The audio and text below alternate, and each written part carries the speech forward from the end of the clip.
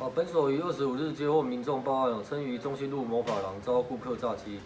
啊，经了解为高姓女子哦，与另另一名友人于二十三日至该店消费哦，烫发后表示没有带钱包，啊，谎称返家后再会转账给店家。